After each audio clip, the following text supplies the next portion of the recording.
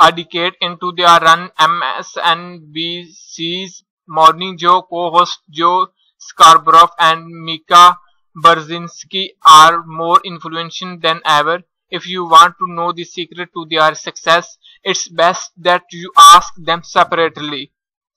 When the recently engaged couple spoke with The Wrap earlier this week, Scarborough and Brzezinski often finished each other's sentences and credited each other with the show's success.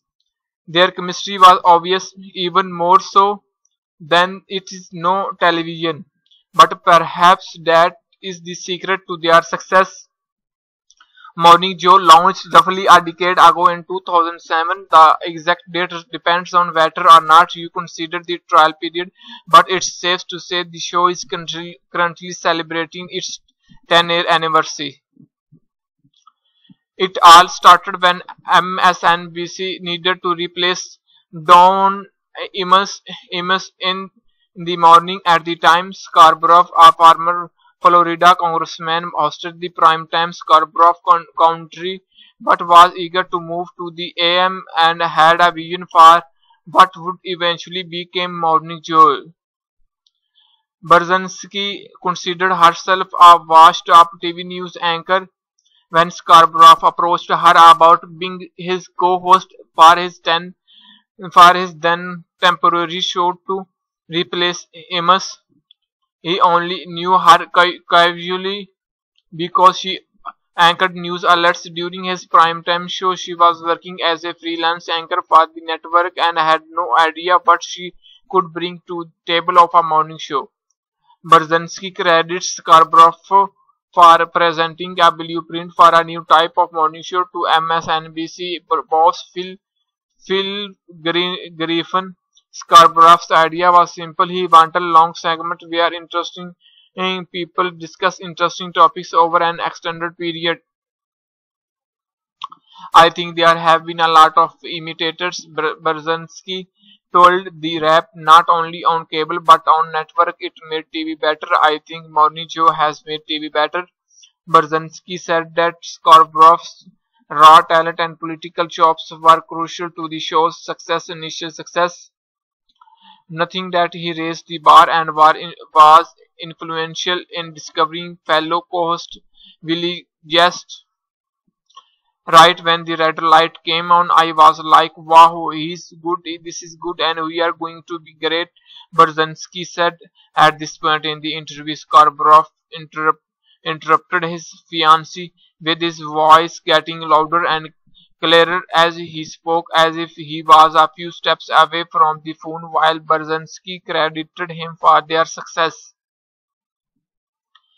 That was very very nice of Mika but the incredible thing to me really is that Willie, Mika and I have been a team for 10 years. Scarborough told the Wrap has that ever happened before in TV news where Siri hosts stayed together and actually Brzezinski could be heard finishing his sentence in the background liked each other.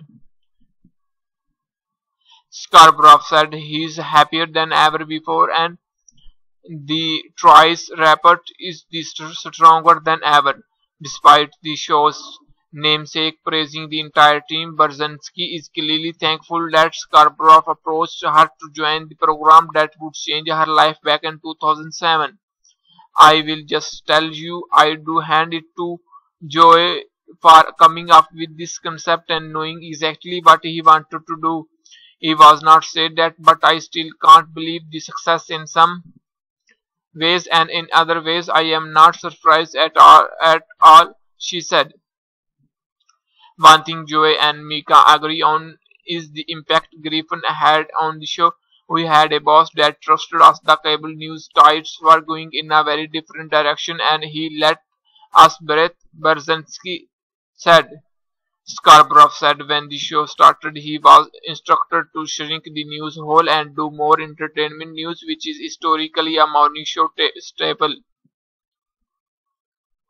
Joey and Mika had other ideas and wanted to emerge as a show that sets the daily agenda for political watchdogs.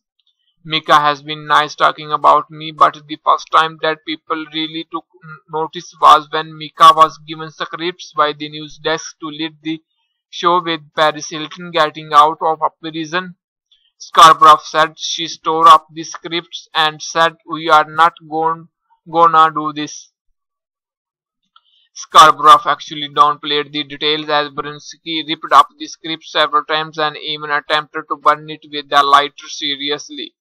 A meeting was arranged. It was not by Griffin. They both emphasized when telling the story to discipline Brzezinski for what networks execs considered being disrespectful to the news departments, but the meeting did not occur. The clip quickly went viral on YouTube and a star was born by the team. She was supposed to go to the meeting. I think there were 5 million hits. Scarborough said she really set the tone. The media power couple said they have not been handed a news script since that point. They are left alone and have total freedom to decide what topics to cover. Phil Griffin said to everybody, Hey, back off, let them do the show they want to do. Scarborough said Griffin's approach paid off and the show emerged as must-see TV for political insiders.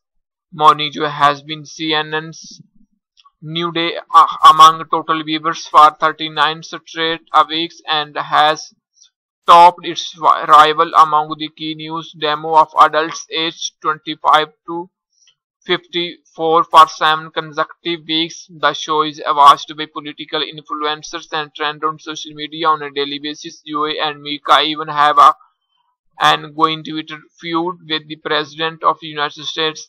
A decade after Scarborough asked the self-proclaimed washed-up anchor to join him on Morning Joe, they are arguably the most influential couple in media.